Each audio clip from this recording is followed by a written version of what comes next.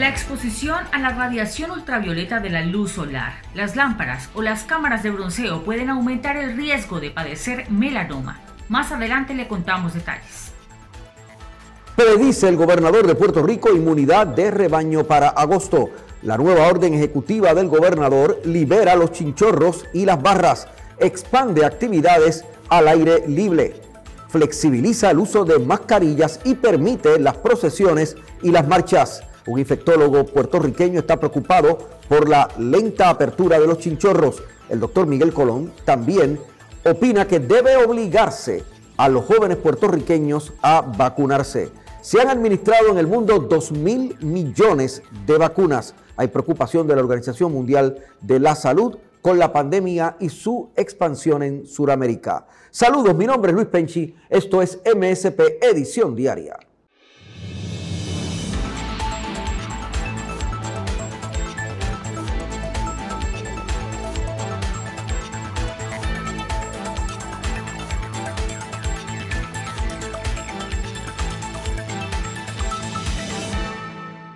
El gobernador Pedro Pierluisi anunció medidas más liberales en torno a la orden ejecutiva para las restricciones que se han flexibilizado en torno al COVID-19. El gobernador flexibiliza el uso de mascarillas, expande las operaciones de actividades públicas, mejora la situación de los coliseos, estimula eh, la administración de vacunas, propendiendo a que aquel que tenga vacunas va a poder entrar a ciertas actividades deportivas y sociales. Aquí está lo que dijo el gobernador Pedro Pierluisi este jueves. Siempre he sido consistente en mi meta de lograr la reapertura gradual de nuestra economía para mitigar los daños causados por la pandemia y encaminarnos prudentemente hacia un regreso a la normalidad.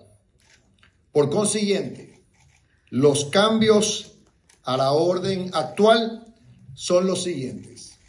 Primero, una persona positiva a COVID-19 tiene que cumplir con cuarentena, pero podrá culminar el aislamiento cuando se cumplan las siguientes condiciones.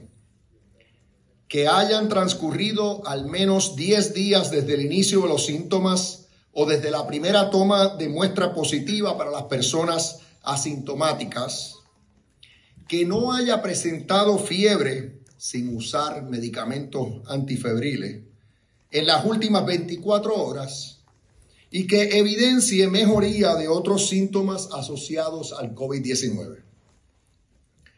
La orden de cuarentena exime a las personas vacunadas o las que hayan tenido un resultado positivo a COVID-19 durante los pasados tres meses al estar expuestos a una persona con COVID-19. En tercer lugar, otro, otro cambio es el siguiente. En cuanto a la utilización de mascarillas, vamos a estar dando las siguientes directrices. Todas las personas deben utilizar mascarilla cuando visitan un establecimiento de un operador privado que atienda público. No se requiere la mascarilla en espacios al aire libre para las personas que estén completamente vacunadas. Se recomienda que las personas que no estén vacunadas usen mascarillas en espacios al aire libre. En espacios cerrados que no se atienda público, las personas vacunadas no tendrán que utilizar mascarillas si todas las personas dentro del lugar también están vacunadas se sigue la, directriz de prohibir aglomeraciones y se recomienda mantener distanciamiento entre, entre sí y las demás personas fuera de su unidad familiar, evitando otra vez cualquier aglomeración. Se aumenta la ocupación máxima de la capacidad total a 75% en las operaciones privadas que atiendan público se permite la apertura de bares, chinchorros, discotecas, salones de juego y party bosses con una ocupación máxima de la capacidad total a 50%. Los bares y chinchorros al aire libre no tienen límite de capacidad, pero se deberá mantener el distanciamiento físico de 6 pies entre personas que no sean de la misma unidad familiar. ¿No van a aplaudir?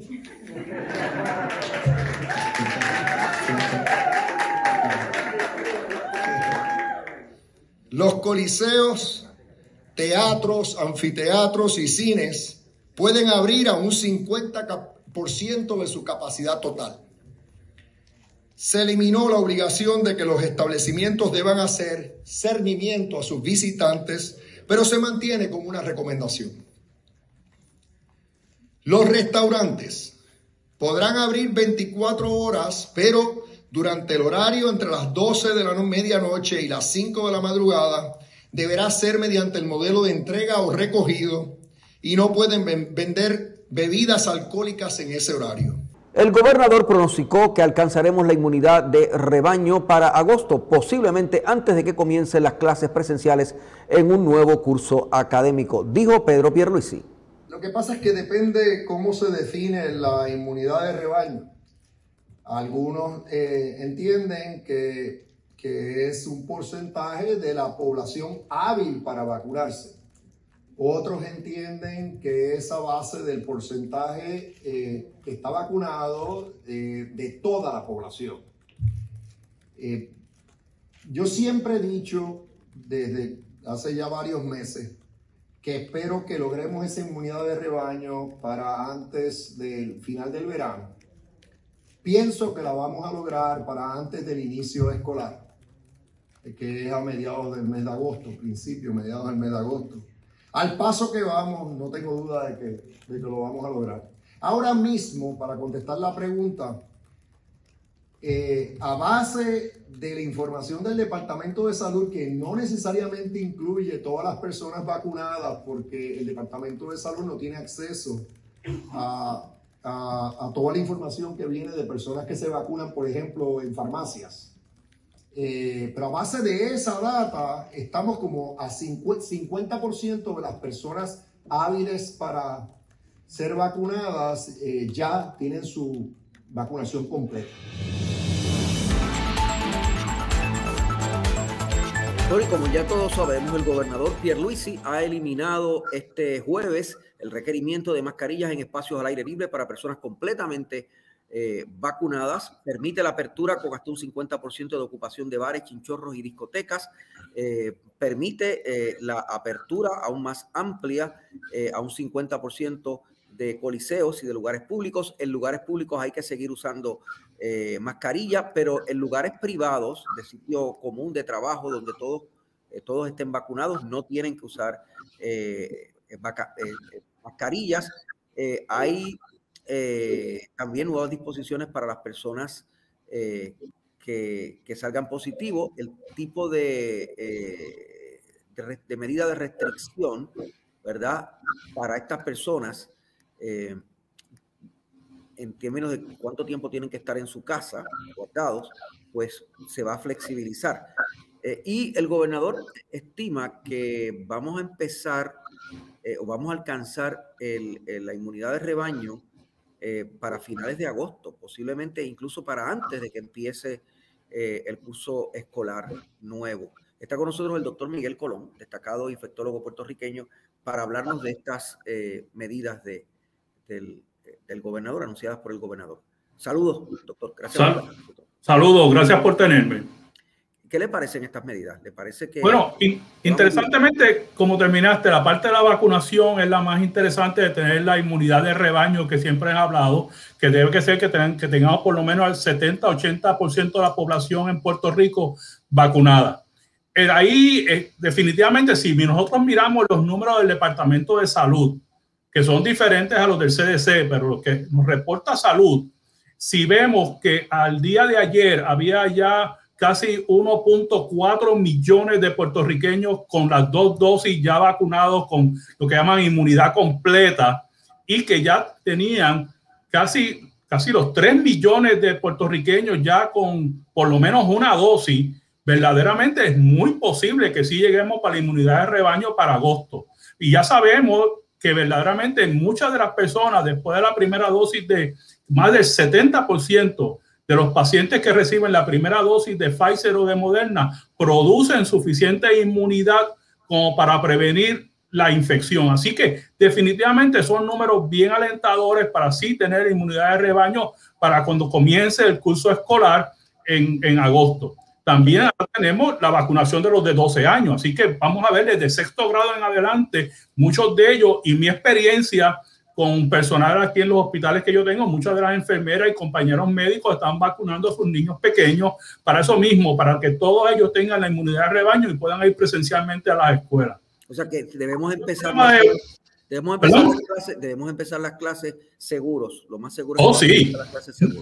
Nuestro mayor problema que tenemos en vacunación son los millennials, verdaderamente hay un, ese grupo de, de muchachos y muchachas están siendo bien reacios a, a la vacunación por razones culturales de ellos, no solamente en Puerto Rico, verdaderamente hasta Estados Unidos, y debe haber un modo de estimularlos o, y, o obligarlos a vacunarse, porque muchos de ellos también van a ir a la universidad, y yo sé que en Estados Unidos, gran por ciento de las universidades, tanto privadas como públicas, están exigiendo la vacuna para tener sus clases presenciales. O sea que, que, deberíamos llegar a ese punto en Puerto Rico. En vez de. En mi opinión, sí. Yo creo.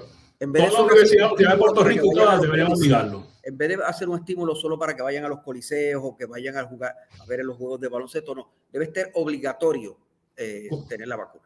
Oh, definitivamente, porque Mire, yo que estuve manejando pacientes de COVID todo este año y que ha sido extremadamente difícil, tanto psicológica como físicamente, ahora mismo estamos viendo un respiro y la única razón de respiro es la gran tasa de vacunación que hemos tenido en Puerto Rico, lo cual yo creo que eh, hemos hecho un trabajo o han hecho un trabajo excepcional en ir a buscar a la gente. Tienen que seguir buscando a la gente. Yo creo que el abrir la, la en plaza, ir a los diferentes lugares, seguir promoviendo no quieres venir a mí, yo voy a donde ti. Pero también hay un grupo que se nos escapa, que son estos millennials que tenemos que, que irlos a buscar o, y acuérdate que ellos son medios nocturnos también, yo tengo hijos millennials, así que ellos son medios nocturnos. Eh, irlos a buscar o obligarlos en el momento de la universidad o estudios posgraduados a que estén vacunados. Eh, se permite la apertura de hasta un 50% de bares, chinchorros y discotecas y sí, yo tengo un problema bien serio ahí.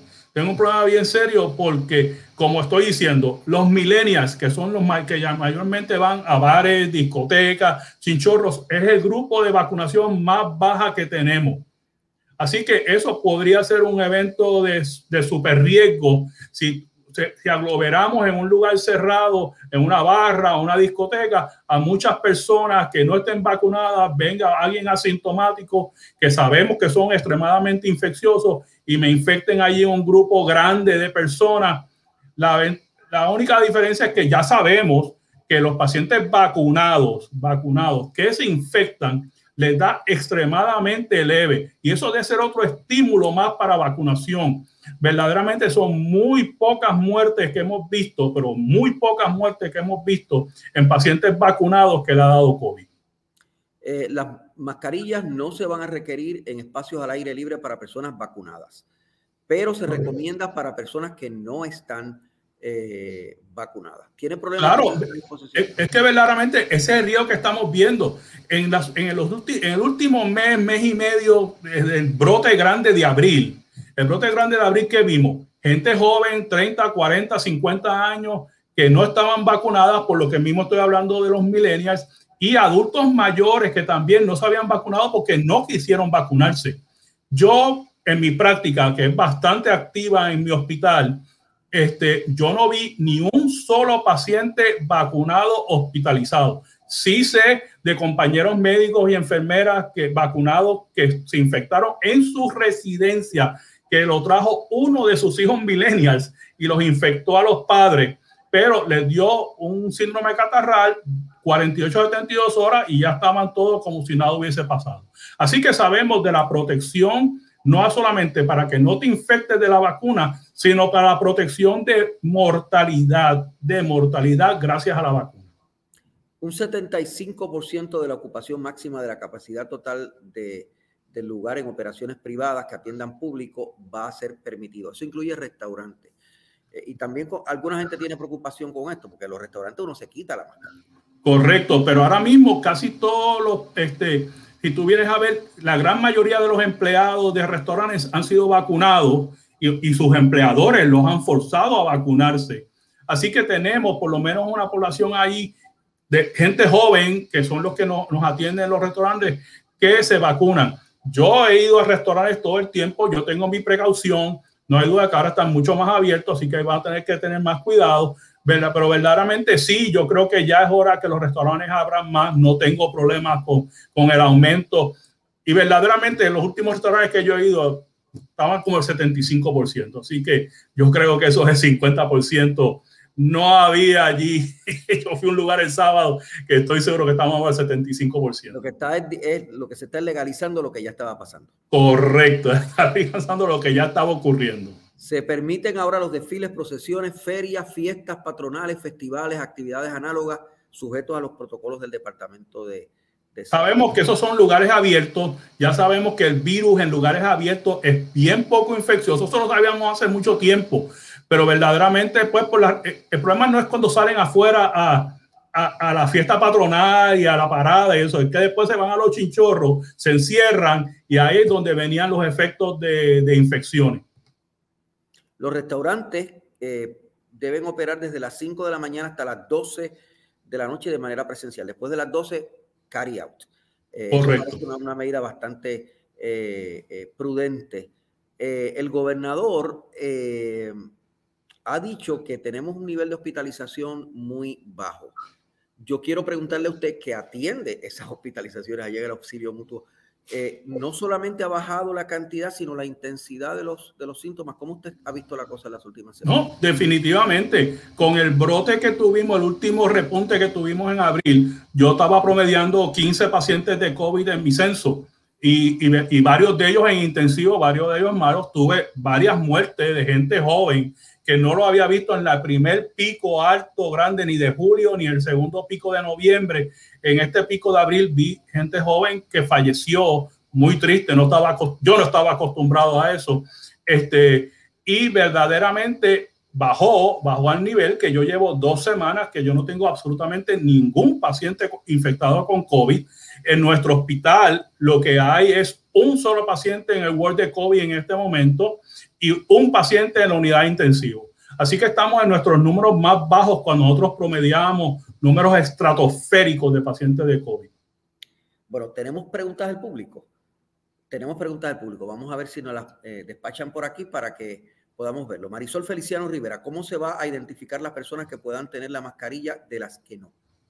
O sea, ¿cómo, cómo vamos a saber aquellos que no deben tener mascarilla o que no tienen que tener mascarilla porque están este, vacunados. Fuera en el, en el, medio ambiente, afuera no es imposible, pero si van a un lugar cerrado, a uno le dan una tarjeta que este, dice que ya tiene sus dos vacunas o que tiene una vacuna. Esa es una tarjeta que se imprime del CDC y se puede exigir en lugares cerrados que muestren su tarjeta de vacunación. De en lugares imposible.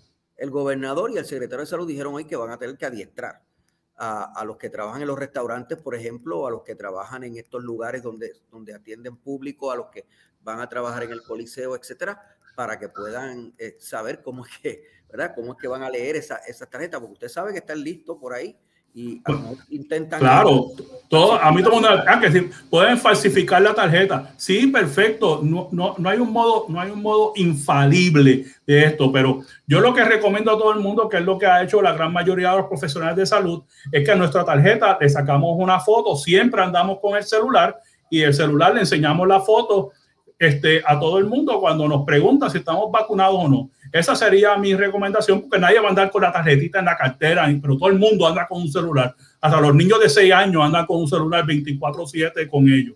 Así que mi recomendación sería que tuvieran una foto de su tarjeta de vacunación en tu teléfono celular y al momento de investigarlo, pues se le pide y tú le enseñas la foto. Si se falsifica o no se falsifica, verdaderamente no hay un control absoluto.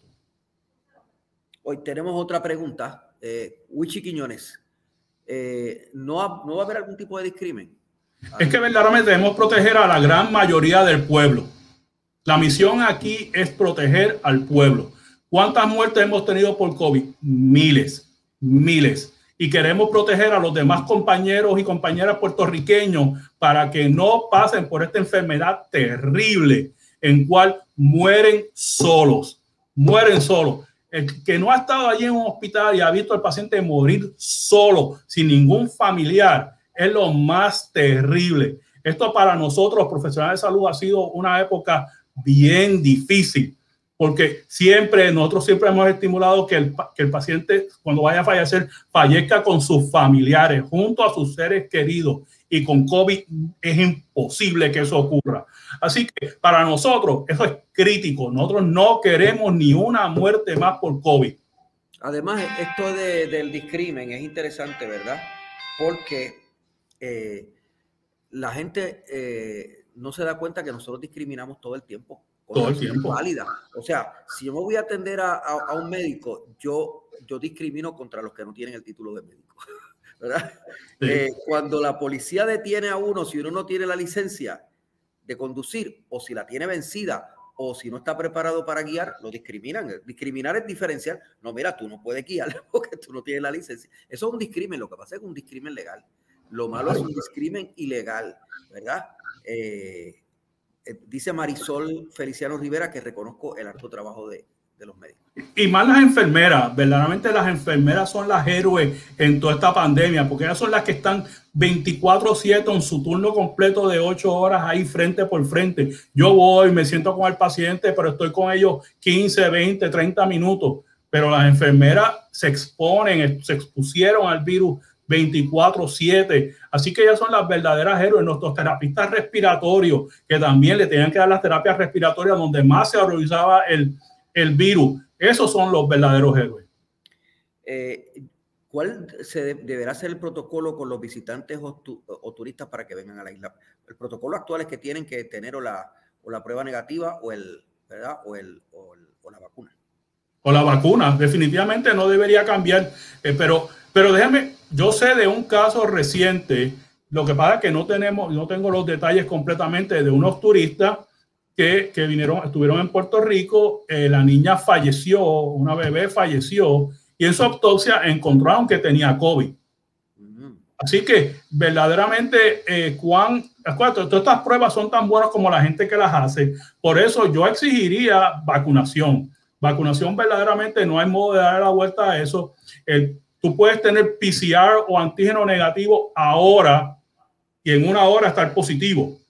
Y, es en la fase más infecciosa, es cuando uno convierte rápidamente. Así que verdaderamente yo nunca he creído mucho en el discernimiento de PCR ni antígeno. Yo creo más en la vacuna como un modo de discernir quién entra y quién no entra. ¿Cuántas? Digo, yo estos cuentos, yo le puedo contar fácilmente 50 pacientes míos que, tu, que yo tuve durante toda esta pandemia, que vino un familiar de Estados Unidos con la prueba negativa y vino a la reunión familiar y se infectó Regimundo y todo el mundo. Eh, el gobernador anticipa que vamos a tener inmunidad de rebaño eh, para agosto eh, y que posiblemente vamos a poder comenzar las clases con inmunidad de, de, rebaño, clases presenciales de agosto. ¿Eso significa que habremos salido de la pandemia? O sea, después de ese momento se acabó la pandemia. No, no, porque hasta que no tengamos el 100% de la población con anticuerpos, tanto como vacunado o porque le dio la infección, y a lo que le dio la infección tenemos que vacunarlo de todas maneras para prolongar su inmunidad. Este, verdaderamente no, y se está hablando claramente, tanto los que tuvimos Pfizer como Moderna, de un booster de nuestra inmunidad con, otro, con otra inyección ya para eh, ciclo de diciembre, enero, febrero. Así que en todo el mundo esta epidemia no ha pasado. Esperamos que pase para el 2022. Pero en agosto, ¿qué ha pasado la pandemia? Definitivamente que no. No ha pasado. Y tenemos países muy cercanos con los que tenemos eh, una relación eh, tenemos una, relación muy cercana. estas personas de República Dominicana ahora tienen un repunte. Allí se han comenzado medidas más estrictas, el toque de queda otra vez más, más rígido. Eh, tenemos la India, que es un, desastre. Tenemos Costa Rica eh, con, unos repuntes tremendos. Mientras eso siga ocurriendo, doctor, eh, ¿estamos a salvo o no estamos a salvo con países vecinos y de nuestra región? Bueno, las, las personas vacunadas, como ya dije, y eso es el estímulo de vacunación las personas vacunadas que se infectaron, que se que se han infectado con COVID, muy pocos de ellos han muerto, pero muy pocos, es menos del 1% de estas personas vacunadas. Además, el rey de vacunación, de, perdón, de infección en pacientes vacunados es 0.08% y el de muerte de ese 0.08% es 0.1%. Así que la posibilidad de que tú te mueras por COVID después de estar vacunado es 0.0001, que es un número casi un, es, algo fantástico que no te vas a morir. Es casi imposible. los de Santo Domingo, que sí está teniendo un repunte ahora significativo y se debe mayormente a su baja tasa de vacunación, porque Santo Domingo empezaron a vacunar no hace ni dos meses, así que ellos van bien atrás en el sistema de vacunación, por eso que están teniendo todos estos repuntes. Verdaderamente es un problema para nosotros, para el que no está vacunado, porque el que no está vacunado está igual de susceptible. El que esté vacunado tiene un casco, una protección para por lo menos no infectarse y si se infecta que le dé síntomas leves. Esta lectora insiste en que qué vamos a hacer con la gente que no se quiere vacunar, que lo sabemos, que hay gente que no, ¿qué, va, qué vamos a hacer con ellos? ¿Y cómo los vamos hay, a hacer? Hay gente que no se va a vacunar porque tiene creencias religiosas o tiene algún tipo, eso nos pasa con todas las vacunas, va a haber un grupo de ellos lo que nosotros queremos, lo que el plan de, de, inmunidad de rebaño a largo plazo y cuando tengamos por lo menos el 90% de la población vacunada, porque todos estamos seguros que al 100% no vamos a llegar. Este 90% de vacunación o por lo menos que tengan anticuerpos es que la tasa de infectividad sea tan y tan baja que proteja indirectamente a estas personas que no se han vacunado. Pero eso es totalmente teórico, totalmente teórico. Así que mi recomendación otra vez es vacúnense. No quieren pasar por esta enfermedad. Y es triste para nosotros cuando llegan, y yo tuve un paciente joven que falleció con COVID, que se lo pegó su esposa, que fue una actividad social. Ninguno de los dos estaba vacunado, ella se infectó, ella estaba más bien, ella sobrevivió, pero él se murió. Y lo primero que me dijo él a mí fue, doctor, por favor, sálveme la vida. Yo dije, yo voy a hacer todo lo posible, ese es mi trabajo. Y yo lo traté con cuanta medicina hay aprobada por el FDA, con todas, todas y cada una, y no hizo absolutamente nada, 40 años saludable. Terrible. Gracias, doctor. Gracias por estar con nosotros. Buenas tardes, bueno, buen día. Gracias por tenerme. El doctor Miguel Colón. Aquí cubrimos la ciencia porque la ciencia es noticia.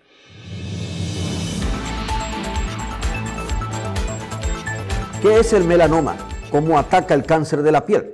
Mayerlin Velosa trae los detalles desde nuestra redacción internacional para MSP Diario. Gracias al compañero Luis Penchi desde los estudios principales de MSP Misión Diaria. Recuerda que la más completa información de salud y ciencia la encuentra en www.medicinisaludpublica.com.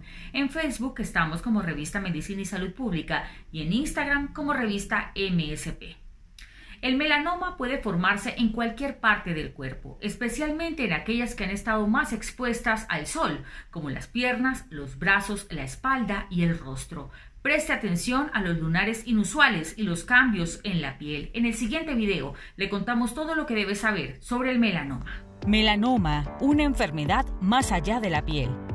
La causa exacta de todos los melanomas no está clara pero la exposición a la radiación ultravioleta de la luz solar o de las lámparas y de las camas solares aumenta el riesgo de tener melanoma. El riesgo de manifestar un melanoma parece aumentar en las personas menores de 40 años, especialmente en las mujeres. En cuanto a los síntomas, los melanomas pueden formarse en cualquier parte del cuerpo. Con mayor frecuencia aparecen en partes que estuvieron expuestas al sol, como la espalda, las piernas, los brazos y el rostro. Los primeros signos y síntomas del melanoma suelen ser por un cambio en un lunar existente, la formación de un nuevo bulto pigmentado de aspecto inusual en la piel, los melanomas también pueden formarse en las partes del cuerpo que tienen poca exposición al sol o que no la tienen, como los espacios que hay entre los dedos de los pies y en las palmas de las manos, las plantas de los pies, el cuero cabelludo o los genitales. Algunos casos de los melanomas ocultos son el melanoma lentiginoso acral. Es una forma poco frecuente de melanoma que puede ocurrir debajo de una uña del dedo del pie o de la mano. melanoma en la boca, el tubo digestivo, las vías urinarias o la vagina. También el melanoma del ojo, también llamado melanoma ocular. Se produce con más frecuencia en la uvea, la capa que está debajo de la parte blanca del ojo, esclerótica. Un melanoma del ojo puede causar cambios en la visión y puede diagnosticarse durante un examen de la vista. Las recomendaciones de los expertos para prevenir ese tipo de cáncer es evitar el sol durante el mediodía, usar un protector solar de amplio espectro con un factor de protección solar de al menos 30, incluso en días nublados. También evitar las lámparas de bronceado y las camas solares.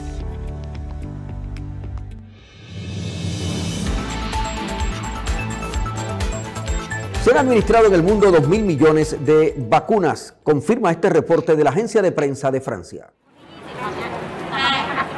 Se aceleran las campañas de vacunación contra el coronavirus. El mundo había llegado a mil millones de dosis administradas al cabo de cinco meses de campañas de inmunización, pero solo hizo falta un mes y medio para duplicar esta cifra.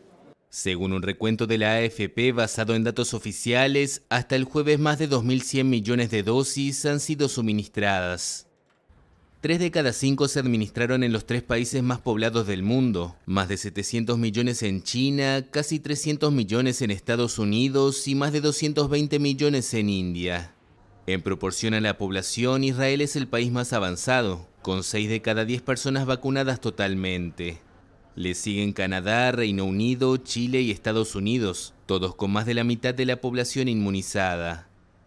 La vacunación sigue siendo un privilegio de los países con más recursos, que albergan a un 16% de la población mundial, pero concentran un 37% de las dosis inyectadas. Solo seis naciones no han reportado el inicio de sus campañas de vacunación. Tanzania, Chad, Burundi, Eritrea, Corea del Norte y Haití. Esta semana se reconfirmó un repunte de casos de COVID-19 en República Dominicana. Existe una preocupación de la Organización Mundial de la Salud de cómo la pandemia va marchando en América Latina. Aquí está la información del Servicio de Noticias de AFP. La Organización Mundial de la Salud está preocupada por la situación epidémica en América del Sur. La situación en Sudamérica ahora mismo sigue siendo un motivo de gran preocupación para la OMS y para nuestros colegas de la Organización Panamericana de la Salud, nuestra oficina regional en Washington. En la última semana, ocho de los diez países con mayores tasas de mortalidad en relación a su población han sido de la región de las Américas, en particular de Sudamérica. Entre los países más afectados incluyó a Paraguay, Uruguay, Argentina, Colombia y Brasil, seguidos de Bolivia, Perú y Chile. Advirtió que la transmisión comunitaria está extendida y que los sistemas sanitarios continúan bajo presión, todos factores que se están viendo reflejados en las tasas de mortalidad. Las afirmaciones de Ryan tuvieron lugar un día después de que Perú anunciara que elevó el balance oficial de muertos por coronavirus de 69.000 a 180.000, la mayor tasa de muertos por COVID-19 del mundo. Lima tomó la medida por recomendación de un grupo técnico que indicó que el balance estaba infraevaluado. Esto ha sido MSP Edición Diaria para hoy viernes. Estamos con ustedes el próximo lunes, pero seguimos informándoles todo el día de hoy a través de nuestras plataformas informativas, cómo va la pandemia, las investigaciones científicas, los problemas más serios de salud en Puerto Rico y en el mundo a través de MSP en todas sus plataformas. Aquí cubrimos la ciencia porque la ciencia es noticia. En MSP Edición Diaria estamos bajo la dirección técnica de Fabiola Plaza. Dirección General Carlos Alexis Lugo Marrero. Mi nombre es Luis Penchi.